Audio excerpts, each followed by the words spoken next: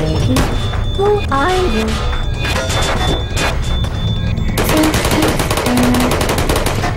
I don't blame you.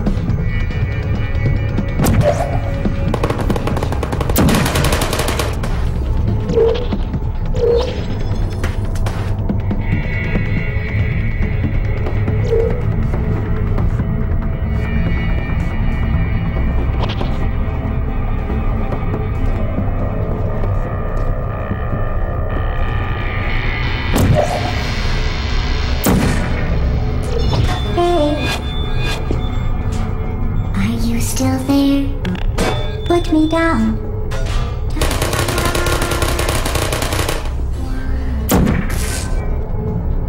Deployed. Searching. Uh-oh.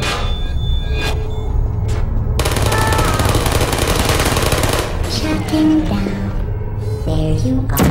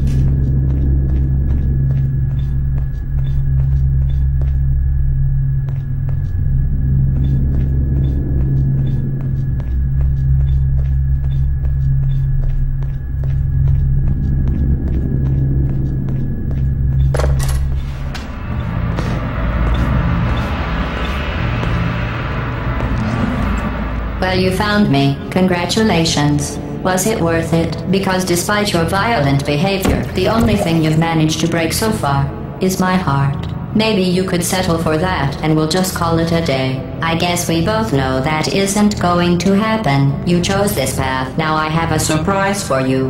Deploying surprise in five, four. Time out for a second. That wasn't supposed to happen. Do you see that thing that fell out of me? What is that? It's not the surprise. I've never seen it before. Never mind, it's a mystery I'll solve later. By myself. Because you'll be dead. Where are you taking that thing?